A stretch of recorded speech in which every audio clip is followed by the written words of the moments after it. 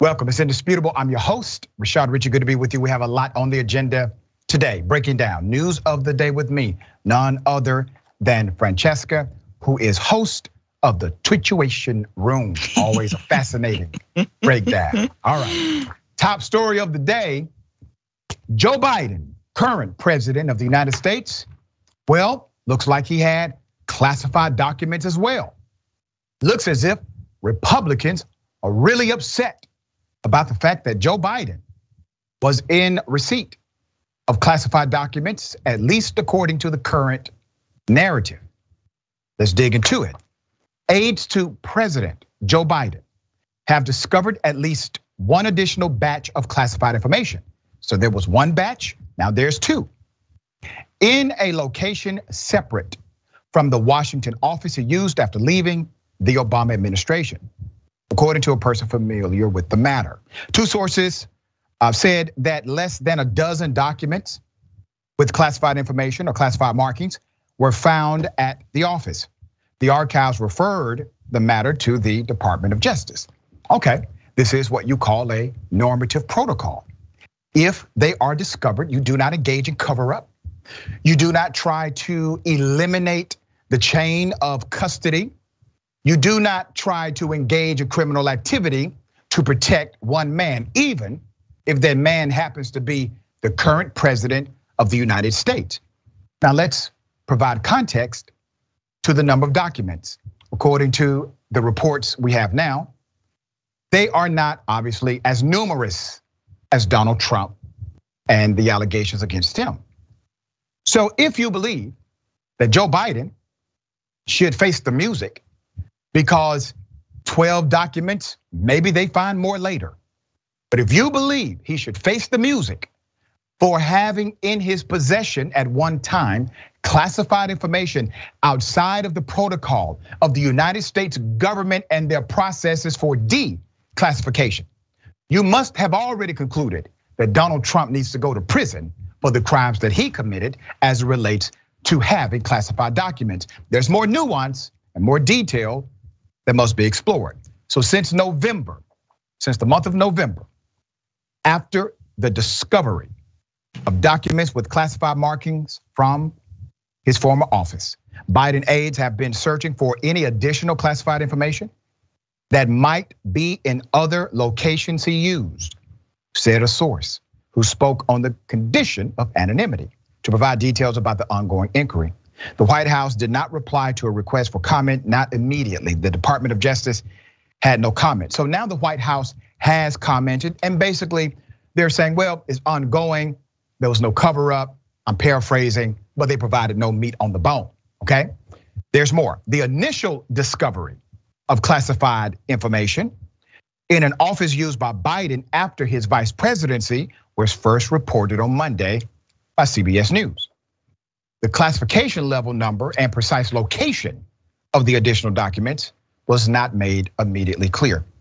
It was also not immediately clear when the additional documents were discovered and if the search for any other classified materials Biden may have from the administration former, being Obama administration is complete.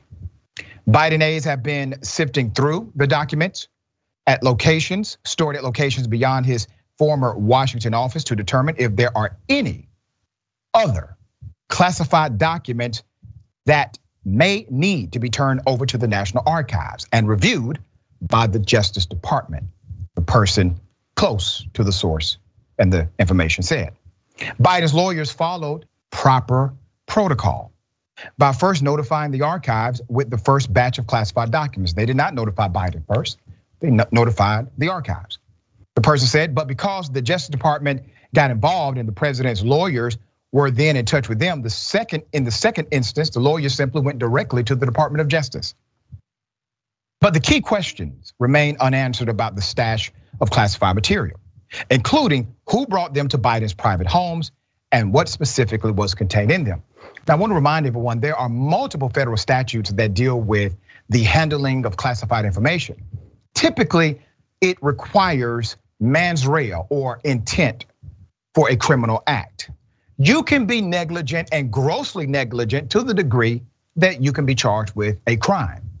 But you can also be forgiven of it if it was done as an accident. An accident that's not gross or grossly negligent. That is possible.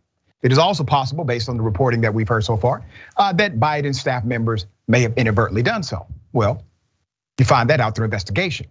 The bottom line is the investigation should not stop just because Biden is president of the United States. I would lack intellectual integrity if I submitted to you that somehow this should not be an ongoing investigation because it happened to Biden. Not at all. It should. There should be an investigation. It should be thorough. It should be accurate and it should be transparent. And damn it, if Biden did something illegal, he should face the music. Period. There's no ambiguity with that with me.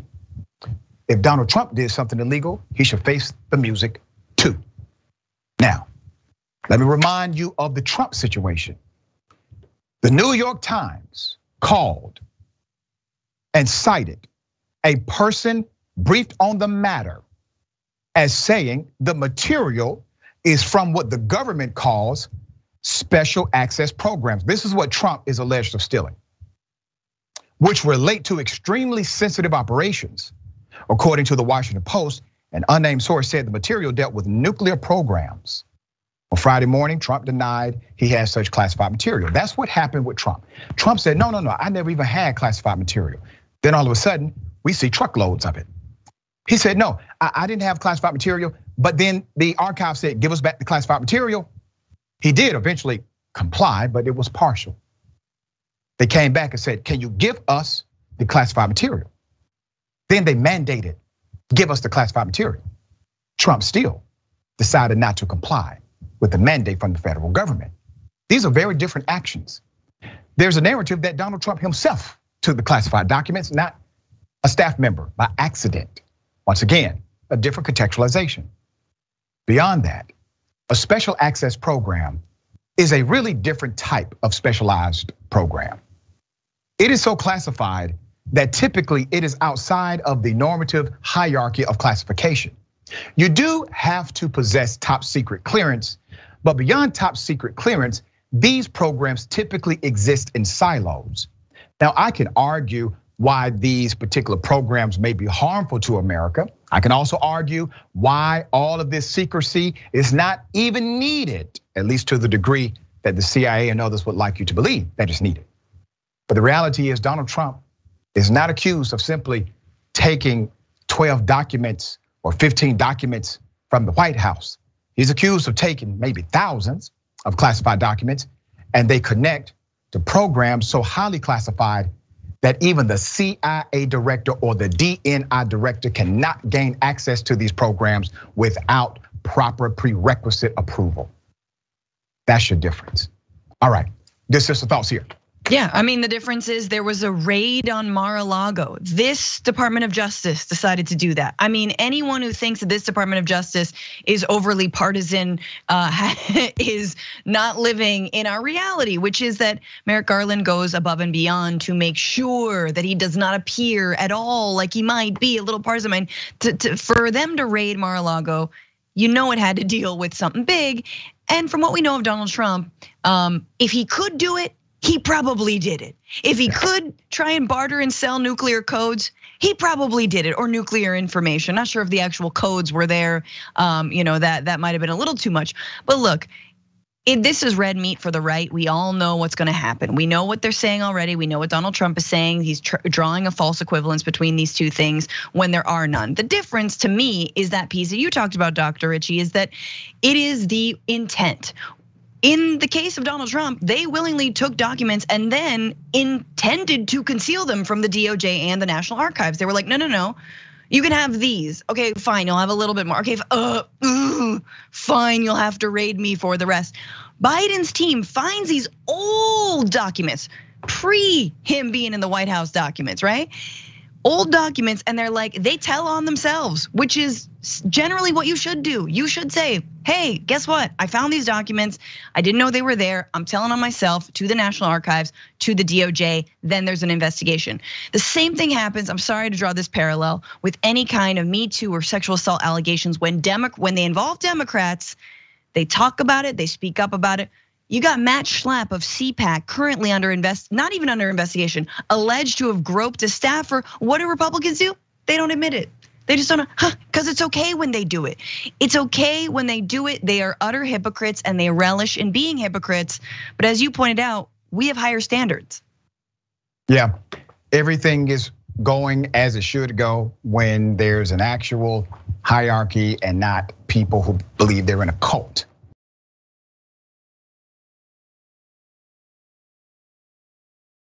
Right. All right. Very sad story. A veteran, a black black male veteran, says he was wrongly arrested, accosted by the police, snatched out of his car. Here's the video. Turn the car off. Turn it off.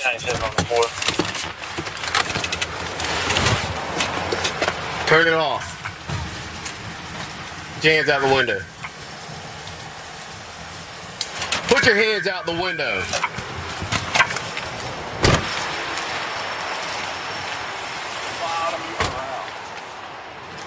Come on. I ain't moving. What's up? Oh, Can you unlock it? Huh? Reach right there. Man, just Don't worry right about there. it. You Look keep your freaking hands out the window and shut your mouth. I'll figure it out. Hey, the, the reverse lights are on. Yeah. He's riding. What's up, Oz? What's going on? What's up? How's yeah, it going? What is going on? Come on, you gonna buckle me? I'm, I'm chilling. What's up? I'm chilling. What's up? I'm chilling. Officer. I'm cool. I'm doing that. I'm doing that. Look at me. I'm doing that. What's up? Come on, man. He resisting. Y'all wildin'. Come on, y'all wildin'. I ain't doing now. Come on. Okay. Y'all wildin'. What I did? Act like you didn't want to stop. What you mean? I got put up in the same spot. I actually have more video. What you're looking at is a disabled veteran in Jacksonville, Florida, being handled by the police in that manner. Here's more video. What makes this spot safer for you than the, where I tried to stop you? I mean, y'all hit the lights on. I didn't want to pull in the middle of the road. That's dangerous for y'all. I just want to pull in a well-lit area. Get y'all out of traffic. Okay. I ain't stupid. So, do you think that making a safe spot for us is is uh is something that you're authorized to do? I mean, I don't. I ain't think they require authorization. I'm trying to be safe, just like y'all. I, I ain't posting uh-huh. a threat. I send y'all something. Wait, so are you trying to be safe? You're trying to find a safe spot for you or for me? For both of us. No, you don't get to do that. Okay, that's understandable. You can make a claim that you're trying to make a safe spot for you. Is that what you're doing? Yeah. All right. Why is this spot safer than that spot? It's it's a well lit area. I mean, it's not in the middle of the road. Do you see all those? Do you see all those uh, street lights down there? I understand what you're saying. So why is this spot more well lit than down there. I mean, what was so detrimental between me stopping right there and stopping right here? I, I, well, actually, I'd like to ask you that. Why did you keep driving? I have no. I just told you that. Mm-hmm. I just told you that. Why There's would a lot of movement moving around in that car. You just looked in it. There's a lot of moving around whenever. When? Whenever I have my lights I on. I rolled the windows down, put my driver's license, my registration mm-hmm. out the mm-hmm. window. That y'all supposed to ask when y'all first pull somebody over, right? Y'all ain't do none of that. Come on, I'm not supposed to stop a law-abiding citizen. Shut your mouth. It's a damn shame. The man was simply driving a few feet ahead so that he could be in a well lit area. Something, by the way, he is authorized to do. It is reasonable to go to a well lit area. Judges have interpreted the law to say that's fine. There's no problem with that. That's not fleeing a cop. Let's put up the picture of Mr. Braxton Smith. Mr. Smith is a black US Navy veteran He's calling for all of the officers involved to be held accountable. He has filed a formal complaint with the Jacksonville Sheriff's Office. He said, and I quote, it made me feel humiliated. Someone like myself, I'm a veteran. I went to college. I've done things to shield myself from this type of stigma, but it still managed to follow me, he told News 4 JAX. Smith told reporters he had an injured back from several deployments while serving in the Navy. Mm. He had to go to the hospital to get a pain injection after the rough encounter with the police. Let me give you background on this traffic stop. Smith said he was smoking a cigarette outside of a gas station the day before Thanksgiving and saw Jacksonville Sheriff's Office task force members circling the store. As soon as he exited the gas station, police flashed their lights to pull the man over. However, Smith didn't come to an immediate stop. Instead, he slowed down, hoping to find a well-lit area that wasn't in the middle of the road out of fear, he said. Smith recorded some of the interaction with the cell phone, and the sheriff's office released the body cam footage of the incident. The officers accused Smith of smoking hemp and scanned his clothes and car for drugs or anything illegal. They also said the man's vehicle smelled like marijuana and asked if he had a medical marijuana card. The officers ran his name and their system to see if he was a convicted felon. However, the veteran said they had no reason to stop him. However, he never gave Smith a citation. At one point, officers find a firearm in his trunk and they debate whether or not he was reaching for it or trying to hide it while they trailed him on the street. However, Smith explains that he legally possesses the holster gun. When the officers find nothing, they eventually let Mr. Smith go. First, Coast News identified the officer behind the camera as Justin Peppers. Further incidents involving that cop, Mr. Peppers, according to First Coast News, a couple filed a restraining order against Officer Peppers, accusing him of harassing and stalking after he repeatedly served them tickets for an illegal tent. However, a local judge later dissolved the order. During one of the traffic stops, Officer Peppers reportedly detained a passerby who refused to back up her vehicle and reroute. Officer Peppers pulled the woman from the car, handcuffed her, and detained this passerby for about an hour. Put a picture of the sheriff. Damn shame, Sheriff. Sheriff T.K. Waters runs the Jacksonville Sheriff's Office. The Jacksonville Sheriff's Office told News 4 JAX that it has been made aware the traffic stop by way of a formal complaint by Mr. Smith. The incident is currently being administratively reviewed, and once that has been completed, the outcome would be made public record, according to the sheriff's office. Now, what do you see there? Obviously, uh, the officer could have engaged in de escalation. He could have simply not been a jerk, possibly even just told the truth and say, hey, you know, you look suspicious to us. We just wanted to check it out. But instead of that, pushed it. He wanted to find something criminal. He wanted to make it criminal to do what you have the right to do, which is to find a well lit area. That's okay, it's not a problem. He wanted it to be an issue that the man was moving around. Somehow that's illegal now that you're moving around in your vehicle, or even put him under arrest for what obstruction? Everything he told you was true. This is a normal traffic stop for a black male. Mm-hmm. I've been in that situation plenty of times. Argument, ego, back and forth, wanted to find something to arrest me simply because I would not kiss their ass. It happens. All right. Yeah, no, uh, no, agreed. And and listen to the way the officer's trying to, he's tongue tying himself, just trying to find a reason to. Yep. So you think it's your authority for you to not stop immediately? Trying to find a reason, like none of that is illegal. But but keep talking, homie. Keep keep spinning your little web of lies, trying to like and and the, and the veterans like, what do you do? What do you mean? Yeah. For, I'm trying to be safe for us, and specifically as we've seen these traffic stops go a different way. And this is not the first story you have done. We have done about uh, someone driving to a well lit area. It's because they are afraid, not just of getting hit by an oncoming car. They're afraid of the police. And man, they should be because of the ways that we've seen these body cam footage play out in other fashions. The last thing I'm gonna say is reaching for your gun in your trunk. I'm sorry, like. Yeah. What is racism so great that people are that white cops are like, oh yeah, yeah, um, black Americans have um, go-go gadget arms and they can reach into their trunk and so just grab silly. their gun. Like, just come on. I'm so glad he was let go finally, but but he should have never been in that situation in the first That's right. place. That's right. All right. They we shouldn't have put him there. Yeah. That's right. We we will bring you updates because obviously this is going to be, you know, a continuation.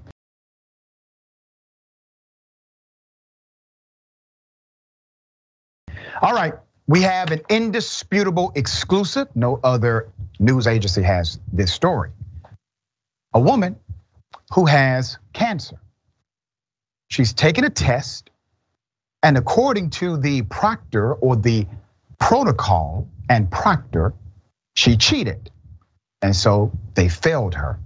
But there's another side of this story. Let me take you first to the video. Here it is. You can see my camera does not pick up certain things. And if I was just sitting back and I was typing, it's going to seem like I'm on another device, even though I'm on a wireless keyboard. So you can see that. Um, also, my camera, it doesn't rotate past there. For me to look down, I'll hold it up higher because this can't catch it. I have to look down to type, so people automatically assume that because I'm looking down, I'm cheating. Or if I hold it like this I'm typing, that I have to be cheating. It's just, it's so wrong and disrespectful on so many levels. And the email that I got from Timothy CV saying you were cheating, it's just like, you're an educated grown man. How hard is it to ask this question? How hard is it for you to ask me to provide documentation? It seemed like it was easier to dismiss me from the program than it was to ask a question of commonality or common sense. I agree with her. Let's put up the picture full mass here. As a college professor, I'm familiar with many of these programs. During COVID, we had to get trained on a lot of them because everything went virtual. Even when I took my test, my LSAT to get into law school, it was through a program very similar because the LSAT organizers refused to allow for in person test taking. So you have a camera in front of you. There's a proctor who's able to watch you while you're testing, and it is recorded for review later. All right, now let's keep a picture up. The woman, 38 years of age, her name is Jahan Bajat. You see her with her grandmother and mother. She is categorized as a disabled honor student, studying to be a cardiac electrophysiologist was failed in several classes and was dismissed from her program for cheating. She says she was never given a chance to defend herself. The investigation by the university, which is Loma Linda School of Allied Health Professions, did not give her an opportunity to rebut, according to her. 2022 was already a rough year for Jahan. She completed nearly 50 units in the fall at that university and a nearby community college to keep cost of tuition down. She also received a diagnosis for ovarian cancer, while her mother is suffering from kidney failure. When her professor, Ryan Allen, accused the student of cheating after she completed all the semester's work, her world came crashing down. Here's the professor with the student. Also, a program director, Allen oversaw the investigation into academic dishonesty, the claim thereof. And it was Ryan Allen who initially received the request for ADA accommodation. Bajat alleges she was denied an opportunity to present her interpretation or her side before the dismissal. That she used a keyboard and text to speech software during her test. She said, and I quote, I'm flabbergasted. They continue to throw me under the bus after I told Ryan Allen about my ADA accommodation. Now remember, ADA accommodations, these, these uh, accommodations are protected by the federal government. They are guaranteed by the federal government once you receive the, the classification. All right, here are here's one of the several messages uh, Bajat sent to the school. Let's put it up. Requesting ADA accommodation, she also let Professor Allen know she needed the accommodation. In it, it says, hello, I have called and left messages and I didn't get a call back regarding assistance. Her letter of dismissal from the program concealed facts about her test taking accommodations. We got the letter right here. The letter says a lot of things, but it doesn't say anything about the accommodation. Okay? Now, just a reminder, uh, it's a wireless keyboard. That's what it is. So wireless keyboard. There could have been a misinterpretation, yes. Maybe the system misinterpreted what it was. That's why you have a live proctor who either watches in real time or can review after the fact. That's one of the prerequisites to programs like that. All right.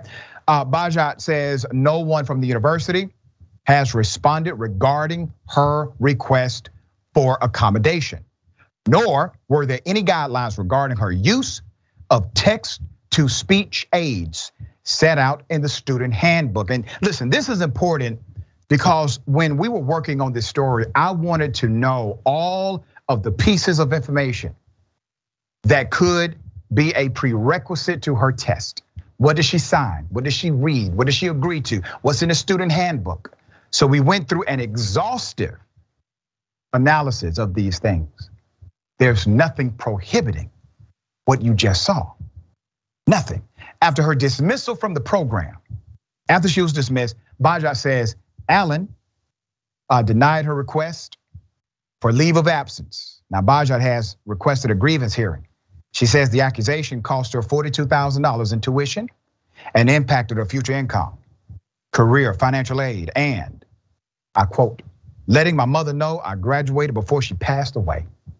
A representative of Loma Linda University reached back to us with a statement. Here's the statement to indisputable. Loma Linda University seeks to educate ethical and competent professionals and scholars committed to the practice of honesty and the pursuit of truth. When allegations of misconduct are made, a thorough inquiry is made to determine if the concerns, allegations are substantive. If the student disagrees with these findings, they can file a grievance through the office of the dean of school. Their statement continued.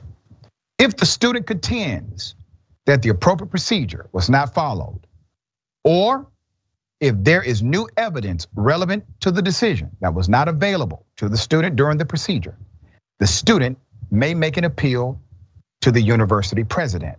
All right, put up the president, buck stops with him. That's your president.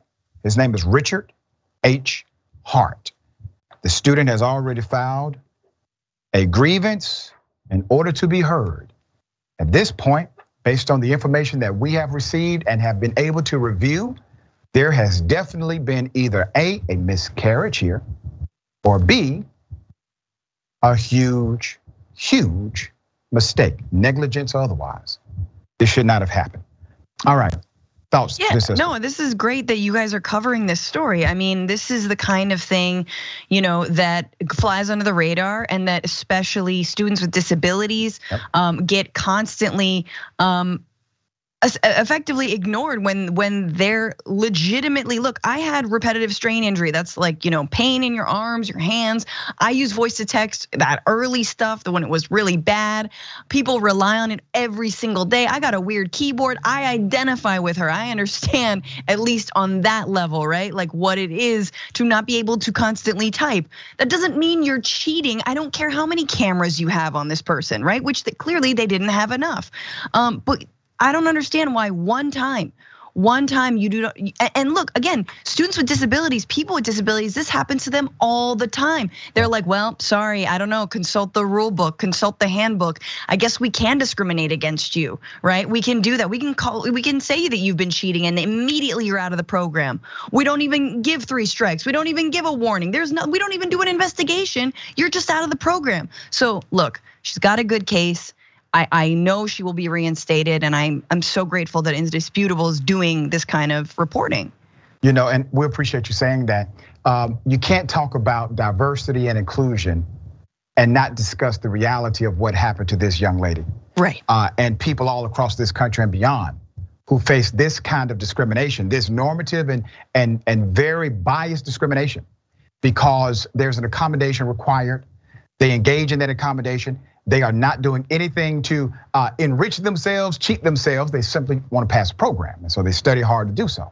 Well, until we make adjustments to ensure that there's actual fairness in the application, not only of these programs, but how they are interpreted, how these testing programs interpret the test taker in the moment of testing, we will continue to find these realities.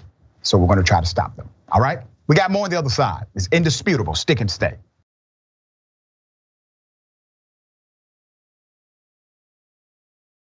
Welcome back. Always good to be with you. Um, we got a special coming up, um, MLK special. All right, this is very important. Uh, it is called. They called him radical, a tribute to King. This is on Tuesday, the 17th of January, for our special King tribute. I will host this show. I will bring along my friends, Rickey Smiley, Senator Nina Turner, and also news anchor Sharon Reed will all be with me that day. Would love for you to join as well. All right. Uh, make sure you tune in, tyt.com forward slash live. Also YouTube, Facebook, and Twitch. Okay. We got a lot of viewer comments. I'll read as many as I can. Uh, not my circus dragon says, I'll make a prediction. The Jacksonville police will determine that their efforts, officers, excuse me, uh, behavior was within their training not recognizing how that simply proves their training sucks. It's a good point. Great point. Uh, Stop Dragon says accommodation for the disabled uh, isn't just the right thing to do, it's the law. And to do otherwise is both disgusting and actionable. That is correct, 100% true. All right. Um, James, come on. James Thompson says, I would give you three for five that those docs succeeded. Burning the Kiwi Dragon. I can relate to a point. I am appealing my med school's decision again to discount my last attempt in 2020 at the finals over multiple mitigating circumstances, including my mother's poor health. Um, and listen, I had to go through that in law school.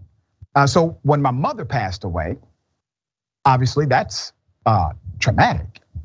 And I attempted to power through. I actually went to class. I went to class first day of the semester. One of my law professors came to me and she says, Dr. Richard, why are you here?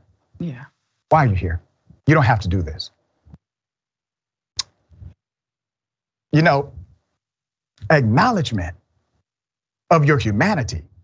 That's what this is about. This isn't about rules, laws, policy, protocols. This is really more about us acknowledging the humanity of individuals who may be a little different in one area or another. That's all it is. That's mm-hmm. it. Why is that so difficult for them to understand? It's real simple. All right, got something for you. Ladies and gentlemen, I wish a Karen would. You want to call the police on them for having a barbecue on a Sunday? You're, you're I feel free. Back off! I'm going to tell them there's an African American man threatening my life my way, and you're not going to push the card into me. That is assault. So please move. Go get your now manager. Uh, go get your manager. Go ahead. Go get him. Go get him. I'm not going to get your manager. I'm not getting It's not on me to get him.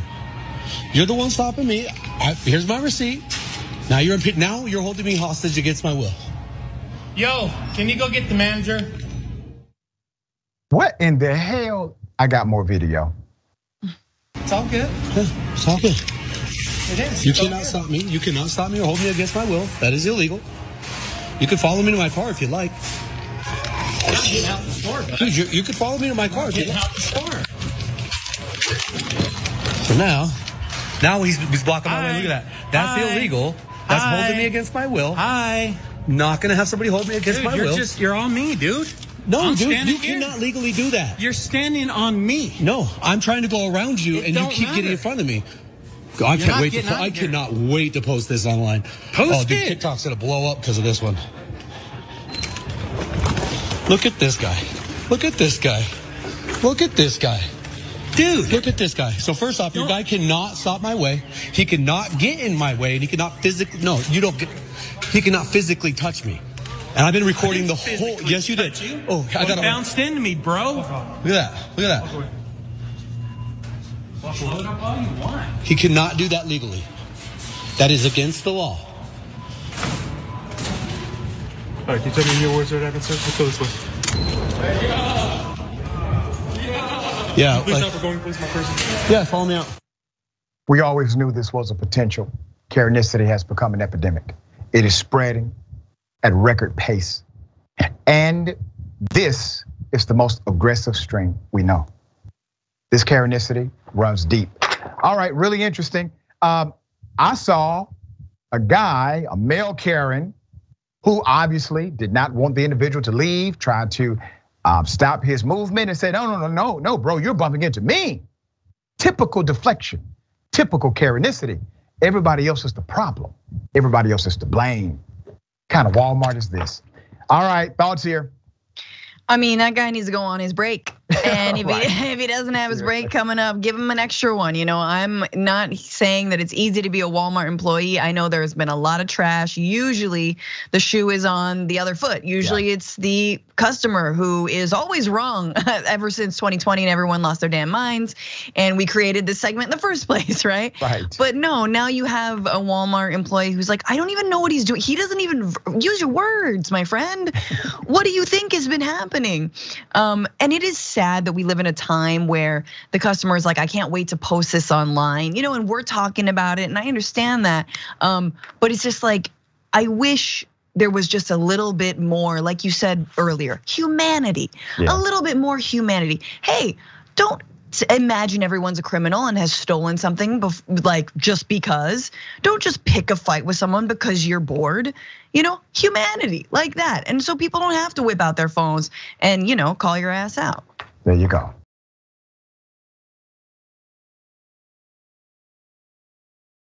All right. Very sad story. Paramedics have now been charged with murder, and rightfully so. Here's some of the video before the murder. Watch your noggin. I know it's cold. I know it's cold. Yep, keep going, keep going. Oh, negative. Come on, buddy.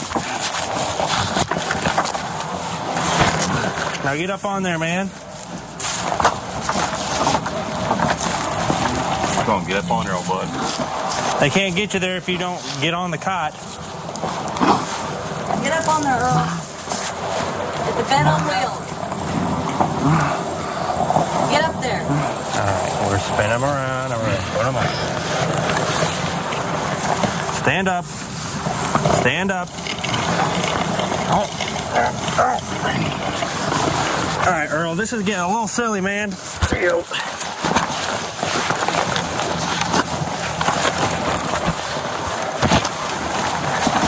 There we go.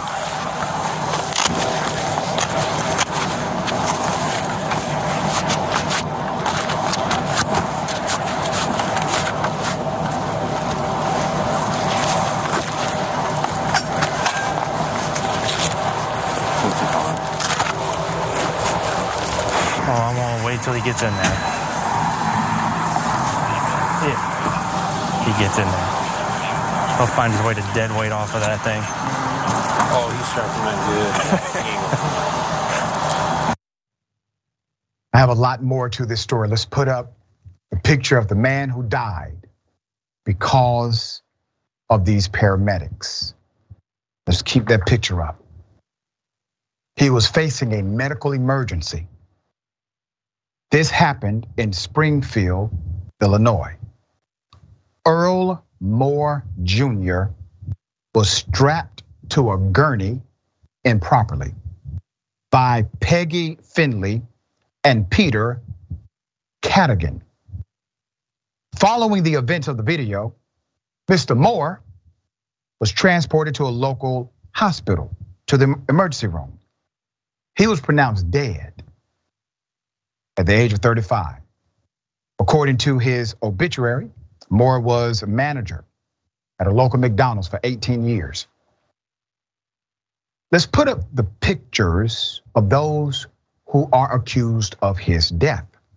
Peggy Finley, and then you have Peter Cadigan. They were charged with first degree murder for Mr. Moore. They are accused of improperly restraining Mr. Moore in preparation for an ambulance ride leading to his death. I'm going to give you some significant background. The night of the incident, when all of this happened, police told WCIA Moore called 911 because he saw multiple people inside with guns. Body camera footage shows Springfield police officers arriving at Moore's apartment. A woman hysterically tells the officers that the 35 year old is hallucinating. He's experiencing a mental health crisis. The woman then invites the officers inside of the apartment and directs them to his bedroom. Police eventually helped Mr. Moore out of his house until an awaiting paramedic gurney.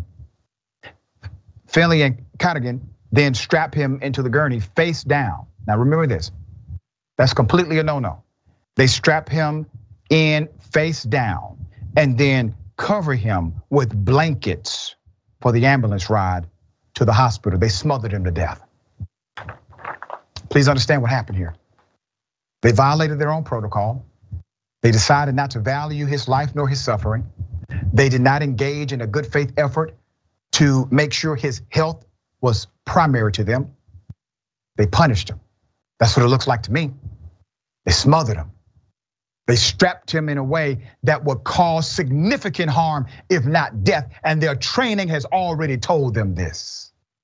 But you know what it can do? You know that strapping a person down, face down, it stops them from being able to talk. It stops them from being able to make noises, which probably was the aim of these paramedics if you give them the benefit of the doubt. There's more. The Illinois State Police. Illinois State Police launched an investigation.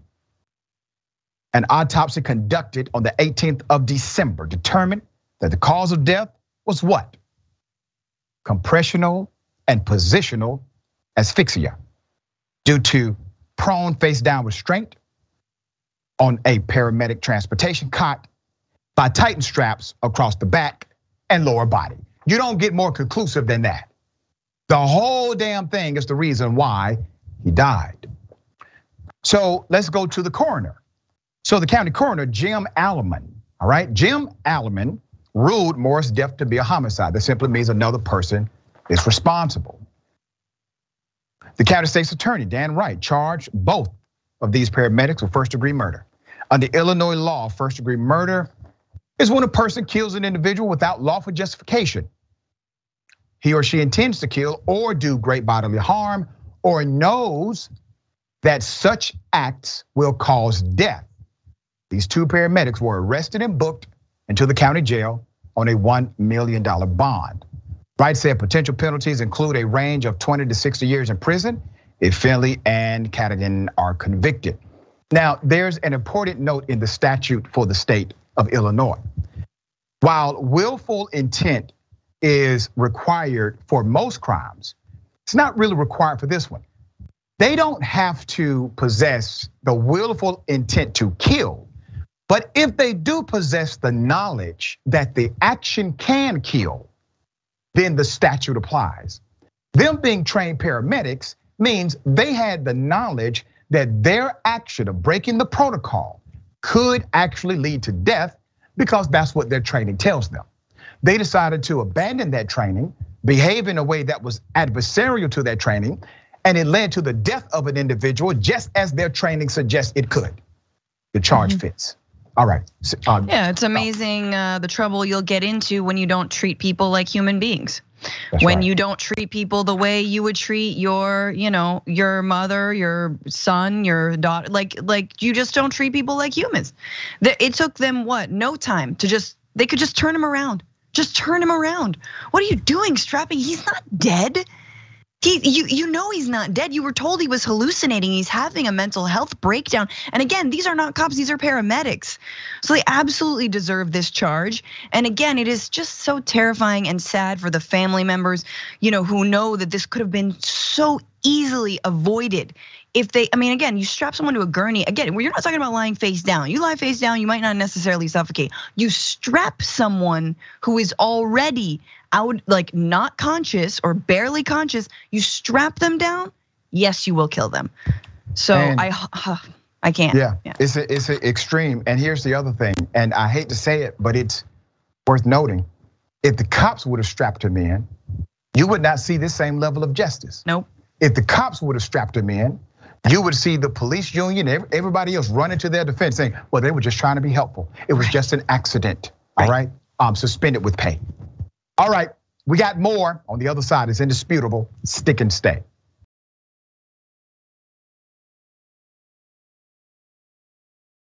All right, welcome back. Always good to be with you. We have a lot of comments. I will read as many as I can.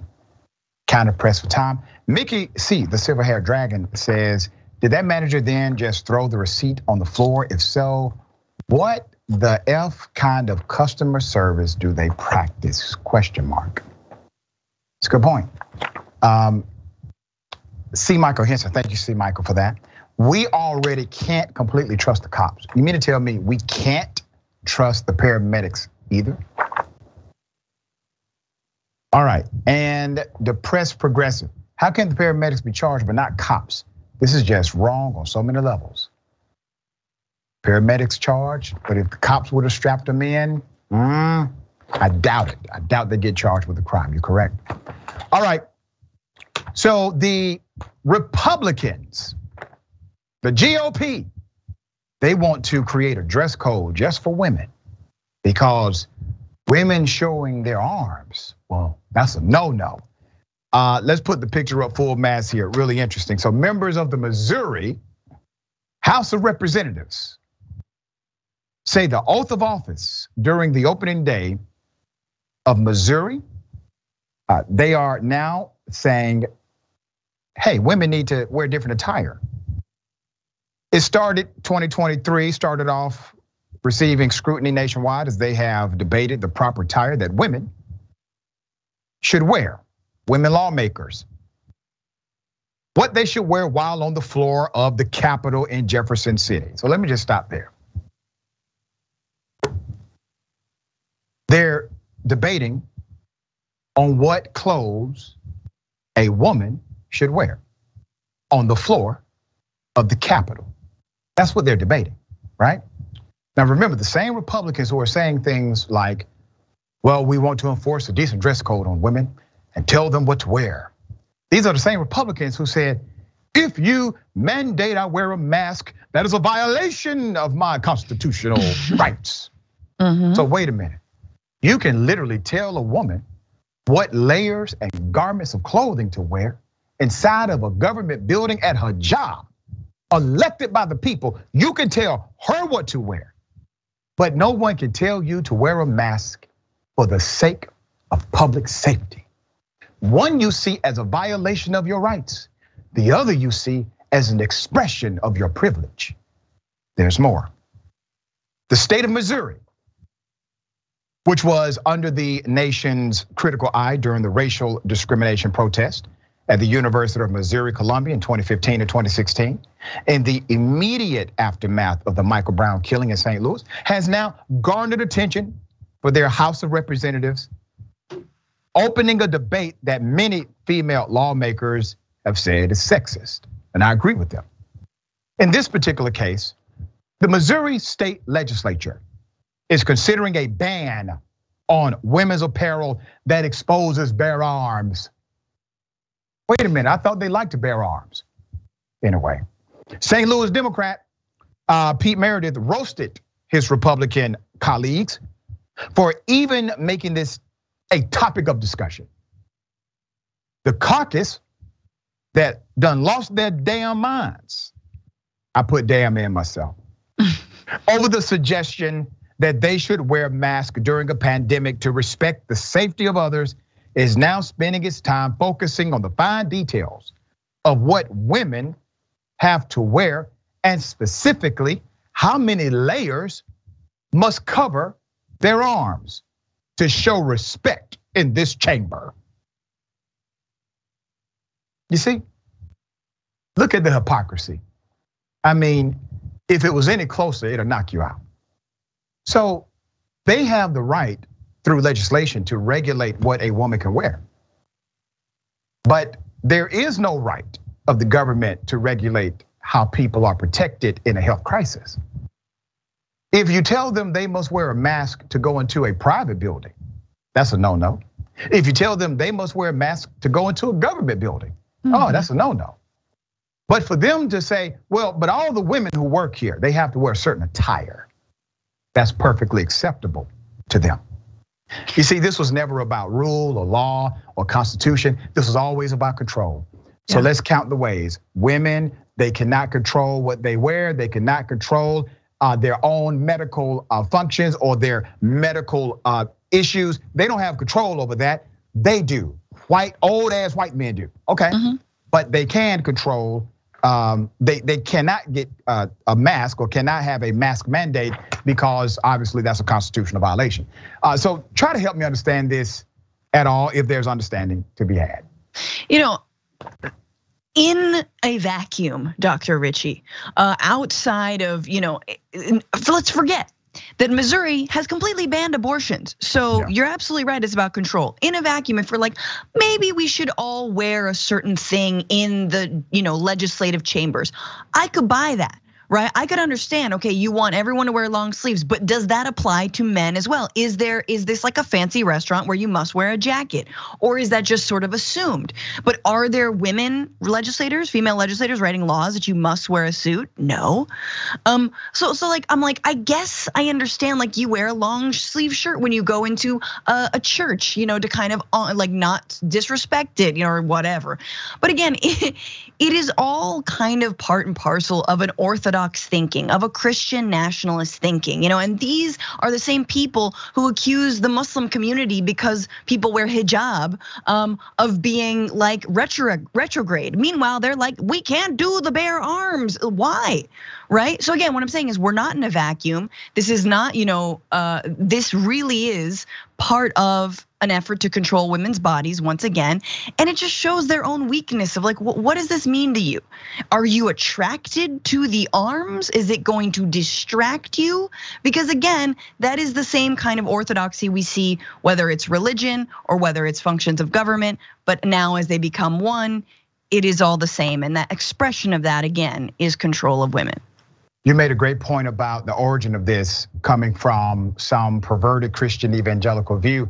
Let me remind those Christian evangelicals that it was Jesus who said, It is not what you put in the body. By extension, it's not what you put on the body that makes you spiritually unclean, but it is what comes out of the body. It is your action, your behavior that makes you unclean. He said that.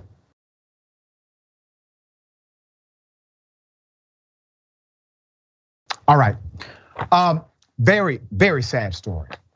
A black teacher dies after a violent arrest by the LAPD. Here's the video. Just have a seat up against the wall there, yes, okay? Have a seat against the wall. Sir, have a seat against the wall here. Everybody got to see me, sir. Have a seat I don't want to be in the black. over here. I want people to see me. Sir, okay, you can Please, sit right there then. If you want to be seen, sit right there. No, I don't want to right there. Sit right there if you want to have somebody see you. Come here.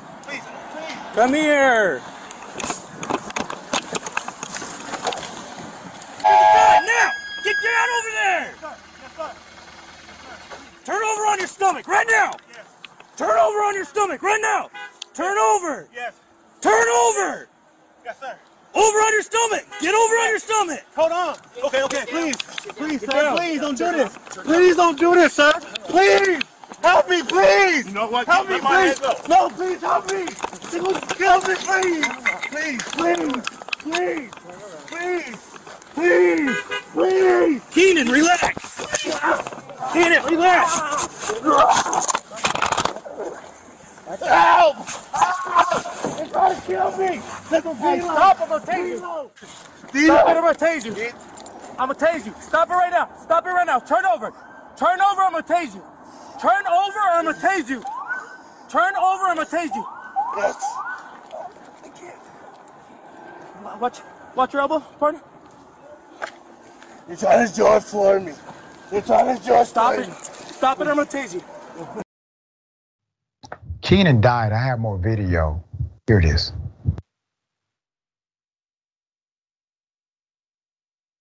Okay, stop it or I'm gonna tase you. Stop it or I'm gonna tase you. Stop resisting. Yes. Please. Stop resisting. Please. Please. Please. Ah, I'm gonna I'm I'm tase him. I'm gonna tase him. They're trying to kill me. They're trying to kill me. Give me low. Stop it. Ah. Stop it. Yeah. Yeah. Okay. Stop it. Yes, sir. Don't resist. No. Stop okay. resisting. Stop resisting. Okay. Stop it. Help. Stop Help, it. please. Help. Do not I'm move. not resisting. I'm not resisting. Yeah, come. Do not move. Okay. If not, I'm gonna tase you again. Okay. Okay, I got, I got one. Okay. Help me. Okay. Here, hold on. Stop it. Stop resisting. Uh, stop resisting. Ah, ah, ah,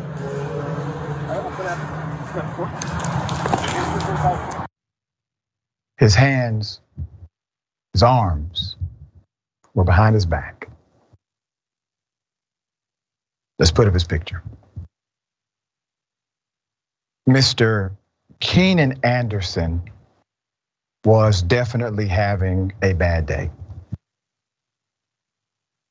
He was a father and also a high school English teacher.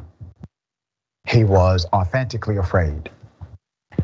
Following the events that you just saw on that video, the school teacher, Mr. Keenan Anderson, 31 years of age, was then taken to the hospital. He was pronounced dead of cardiac arrest. The LAPD did not acknowledge Anderson's death until three days later. Detectives from LAPD's Force Investigation Division are currently investigating what led to this. Patrisse Cullors, author and co founder of Black Lives Matter, said on Instagram that Anderson was her cousin. Her cousin. She wrote on Monday, Keenan deserves to be alive right now. This child deserves to be raised by his father. Let me give you some background to what led to the video you saw. According to the LAPD, they arrived on the scene to find Mr. Anderson allegedly exhibiting erratic behavior. Now, once again, if you see that, what do you think? What do you assume? You assume there's a mental health crisis. This is a medical emergency. I don't need to tase this person. This is a medical emergency. I need to be patient. We got him subdued. We got to be patient. We got to wait on a professional to get here. We need to make sure this man is going to be okay. We don't need to treat him like a criminal, tase him over and over again, even when he's subdued. He displayed erratic behavior. He was having a tough day.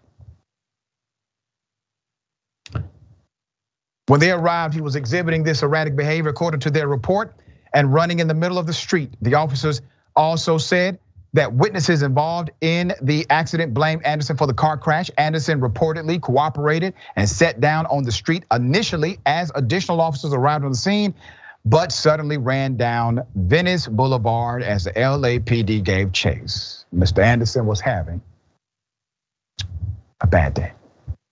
Mm-hmm.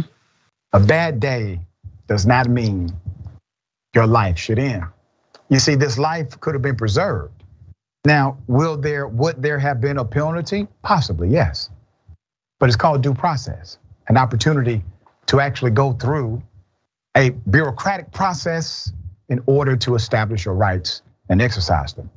LAPD, they've killed many like this in recent times. LAPD officers have now killed at least three people so far in 2023.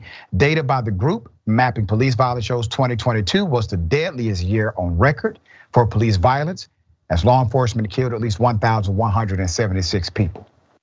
Let's go to the chief. Chief Moore, currently LAPD.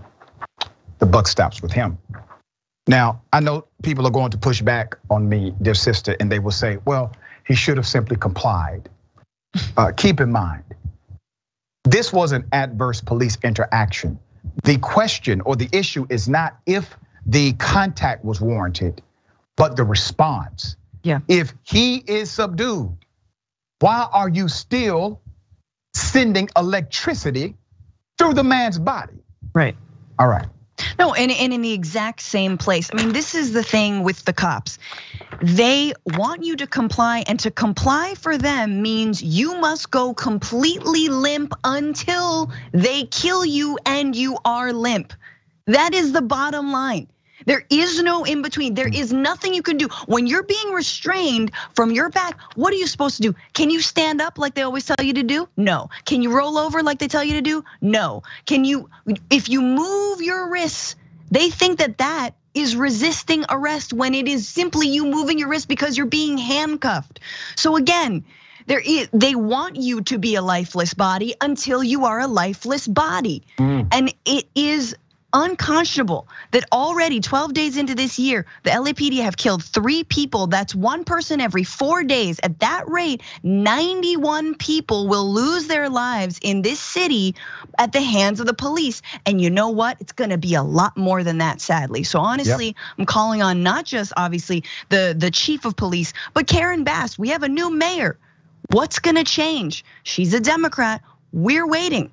We want to see that actual change. We need to pressure her from the left. I don't even think it's from the left. We need to pressure her from the side of humanity right. to rein in these cops and to start putting mental health workers on the streets. You don't need cops to respond to traffic incidents. Yeah, and whatever your conclusion may be about what happened, we can all conclude that he definitely should at least be alive. He posed no threat no physical threat to anybody. When is deadly force allowable according to police protocol? When either the cop is in danger or somebody else is in immediate danger. It has to be right now danger.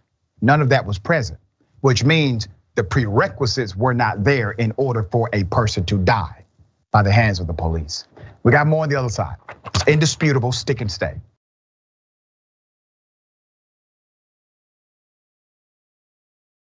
All right, welcome back. We have a lot of show left. Let me read some of these amazing comments.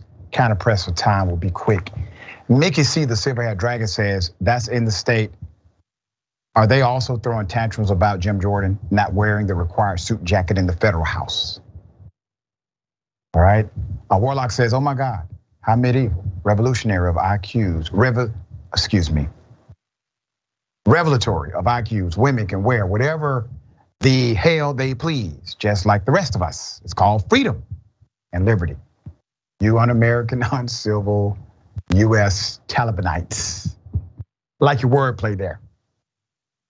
All right, uh, Mickey says, oh my God, they're trying to George Floyd me. He knew what they were going to do and they did. Lying face down in the street with three cops on his back, one kneeling on his back. There was no reason to tase him much less hold the taser against his body for an extended period of time. And that is precisely what led to his death. It was that action right there that led to his death. All right, was not necessary at all. Okay, a school teacher. Well, he thought he was going to arrange an encounter with a 14 year old child and the child's mother. Let's put his picture up full mass. He is now facing the penalty of his monstrous behavior. Kevin Hedrick, 37 years of age, thought he was talking to the mother of a 14 year old girl while allegedly attempting to arrange for a hookup with them both. Okay? The married Ohio high school teacher, however, now faces federal charges because the mother turned out to be an undercover agent. Investigators tracked the school teacher of New Franklin on the app KIK, where he allegedly used the alias Mike Smith, according to an FBI affidavit in support of a criminal complaint. Hedrick thought he was communicating with the 28 year old mother of two underage girls, but he was actually speaking with a US Secret Service agent. The school teacher a social studies teacher at Medina High School, has been charged in Cleveland federal court with two counts of child pornography, receipt of visual depictions of minors engaged in sexual or sexually explicit conduct, and enticing or coercing a minor to engage in prostitution or any criminal sexual activity. All right? Remember, high school teacher. He's also accused of using the school's district's uh, internet services to access his account, the account he used to engage the mother or the secret agent in this case. According to court documents, where investigators allegedly found hundreds of images of all of these pornographic uh, material, all of this material depicting children between the ages of 7 and 13. Remember, he's a high school teacher. Last October, this same teacher allegedly began messaging with the undercover Secret Service agent in the chat room.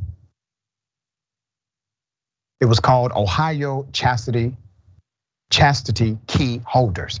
There, he allegedly responded to a chat room post from an undercover agent who was posing as a mother of two daughters, aged 5 and 14.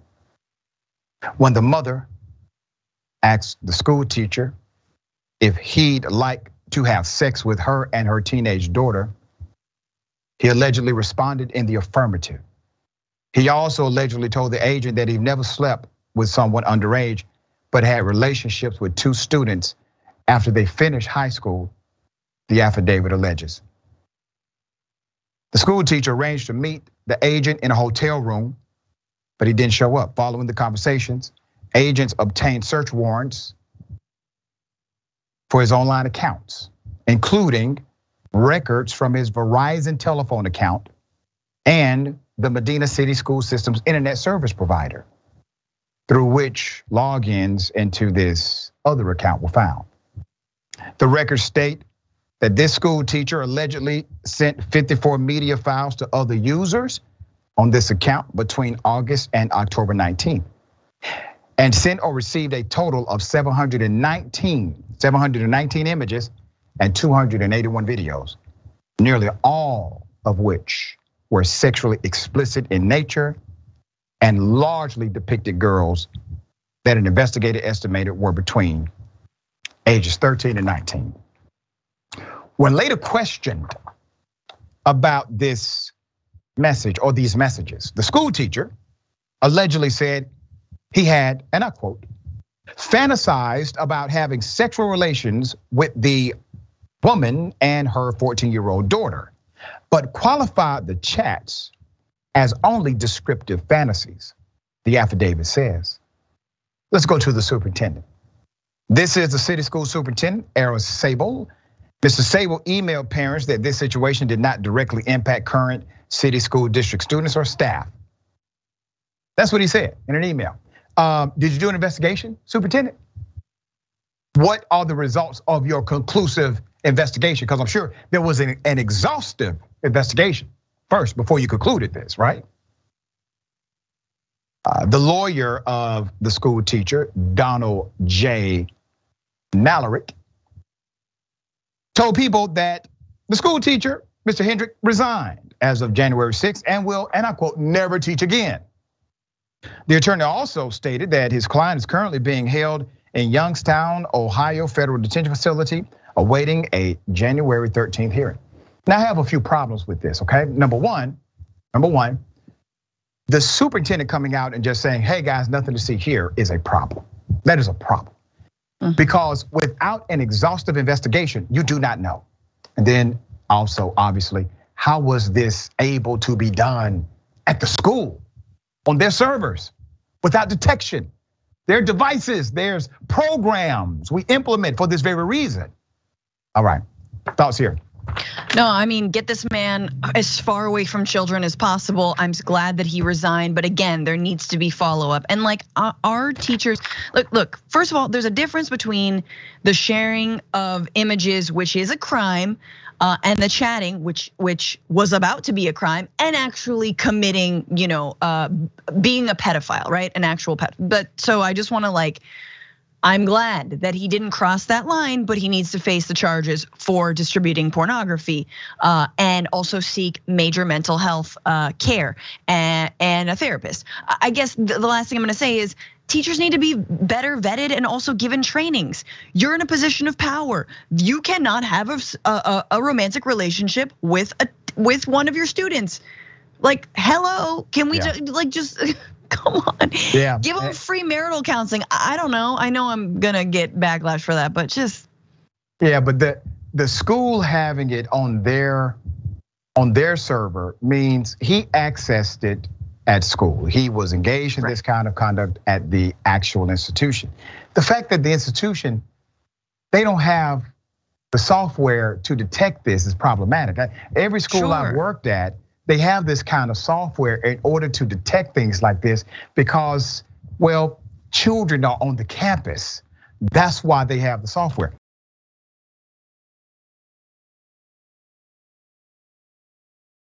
All right, Charlie Kirk goes full racist. Here it is.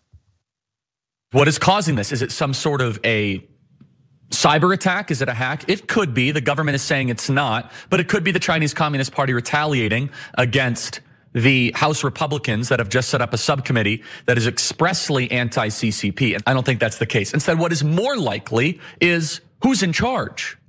Well, the person who's in charge of the Department of Transportation was picked solely because of his sexual preference. So when you hire personnel based on lifestyle or melanin content, you should not be shocked. No one should be surprised when things start to fall apart. And if I were to give some feedback to conservatives of all colors, but in particular, white conservatives, the amount of white guilt that conservatives have, sometimes Christians, about this issue gives you Pete Buttigieg. I'm reading a book on how you need to slow down your life. And he says one of the ways that you might struggle to unhurry your life is if you're a black person, that you're privileged to be able to slow down your life. And I say, what? He believes that white people have some sort of institutional privilege. And it is a lie. It's not just a little lie. It is a racist, bigoted lie. And because he lives in Portland, he is surrounded by so many white people that are afraid to speak truth about race that, hey, it's actually not about skin color. Maybe it's about fatherlessness or some very serious issues with black culture. Can't say that. No, you just got to blame the white guy. Whoa, Charlie, come on. I got some information for you if you bother to research it. So, what was he talking about? He was talking about the FAA and the period of time when all flights were basically downed. Hey, something's wrong with the computer system. We got to shut down air traffic for safety, right? So he took that incident and somehow decided to blame black culture mm-hmm. for the downing of planes for a safety reason. Now, okay, uh, the cascading collapse of US air travel on Wednesday caused by an air safety systems failure was attributed to human error. A senior official with knowledge of the matter told ABC News an engineer conducting routine maintenance replaced one file with another, resulting in the breakdown, the official said. Now, remember, um, white men have made a lot of blunders being leaders of this country and leaders of other corporations, etc. Never are all white people blamed for the blunders of this white man or the other. Um, and here's the other issue. He said fatherless. Like, what the hell does that have to do with anything? But Charlie, I'm going to read something to you that was released by the Centers for Disease Control and also Pew Research did a separate study found the same thing. According to those studies, black fathers are most involved with their children in comparison to every other demographic, Hispanic, white, etc. Now that may shock many people who just heard me read that statement. We are so ready to accept a negative narrative about black culture than a positive one. According to the CDC, I will say it again, and you can look it up. According to the CDC, black fathers actually spend more time with their children than any other demographic in America also echoed by Pew Research. Yeah, there you go. And he was the one making it about race. Why did you make yep. an FAA thing about race? Uh, and I love the fatherlessness thing. Um, yeah, how about stop incarcerating, over incarcerating black men, and then we can actually have an honest conversation about who's a father and who's not. It's just insane. And there you go. The evidence is the CDC has it. Um, yeah. Yeah, Charlie Kirk. All right, always a pleasure have you on the show. Tell people I think follow you, check out your work. Follow at Franny Fio, uh, all the things. Listen to the Bitchuation Room podcast, uh, and thank you, Dr. Richey. You're wonderful. Always a pleasure. All right, remember, take care of yourself, take care of each other, take care of the planet. Remember, the truth is always indisputable.